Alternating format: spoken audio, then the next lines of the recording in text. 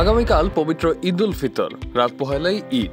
ঈদের আগের দিন সোমবারও রাজধানী ছাড়ছেন মানুষ। তবে শেষ মুহূর্তের এই ঈদযাত্রা খুবই স্বস্তিকর হচ্ছে সব পথেই। দুপুর বারোটায় গাবতলী বাস টার্মিনালে গিয়ে দেখা যায়, যাত্রীরা ঢাকা ছাড়ছেন, তবে সংখ্যায় কম। প্রায় ফাঁকাই যাচ্ছে অধিকাংশ দূরপাল্লার বাস। কোনো ভোগান্তি নেই, ভোগান্তি না থাকার কারণ হিসেবে কয়েকটি টিকিট কাউন্টার থেকে জানানো হয়, ঈদের ছুটি শুরু হওয়ার আগে নগরবাসীর একটি বড় অংশ ঢাকা ছেড়েছে, তাই ভোগান্তি কম। সরকারের কারণেই দেশে সয়াবিন তেলের সংকট হচ্ছে বলে মন্তব্য করেছেন বিএনপির সিনিয়র যুগ্ম মহাসচিব রুহুল কবির রিজবি তিনি বলেন, আজকে যদি কোনো জবাবদিহিমূলক সরকার থাকতো, তাহলে এমনটা হতো না। সরকারকে জবাবদিহি করতে হলে মার্কেট ইন্টারভেশন করত। সয়াবিন তেলের যারা সিন্ডিকেট করছে, যারা কালোবাজারি করছে, তাদের গ্রেপ্তার করতো, কিন্তু সেটা হচ্ছে না। পাটুরিয়া ঘাটে পারাপারের জন্য কোনো গাড়ি নেই। যাত্রী ও যানবাহনের অপেক্ষায় ঘাটে নোঙ্গর করে রয়েছে ফেরি। পাটুরিয়া দৌলতদিয়া নৌপথে একুশটি ফেরি বরাদ্দ থাকলেও যানবাহন না থাকায় সতেরোটি ফেরি দিয়ে যানবাহন ও যাত্রী পারাপার হচ্ছে। বাকি চারটি ফেরি ঘাটে নোঙ্গর করা আছে। যে কোনো গাড়ি ঘাটে এসেই ফেরিতে উঠতে পারছে যাত্রীবাহী বাস। ছোট গাড়ি না থাকায় ঘাটে জমে থাকা সব ট্রাকও পার করছে ঘাট কর্তৃপক্ষ।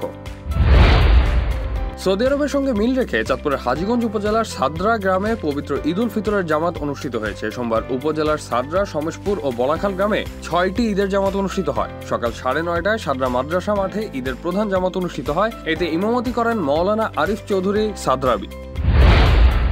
পাকিস্তান তেহরিক ইনসাফের চেয়ারম্যান ও সাবেক প্রধানমন্ত্রী ইমরান খানের বিরুদ্ধে ফয়সালাবাদে ধর্ম অবমাননার মামলা দায়ের করা হয়েছে। একই সঙ্গে ইমরান খানের সাবেক সরকারের কয়েকজন শীর্ষস্থানীয় ব্যক্তিকেও এই মামলায় আসামি করা হয়েছে। এছাড়া অজ্ঞাত আসামি সহ মোট একশো পঞ্চাশ জনের বিরুদ্ধে মামলা দায়ের করা হয়েছে। সৌদি আরবের মদিনার পবিত্র মসজিদে নববীতে পাকিস্তানের নতুন প্রধানমন্ত্রী শাহবাজ শরীফ ও তার সফরসঙ্গীদের লক্ষ্য করে অবমাননাকার স্লোগান ও হেনস্থার অভিযোগ উঠে ইমরান সমর্থকদের বিরুদ্ধে। এর পরপরই এ ঘটনার মামলা দায়ের করা হলো।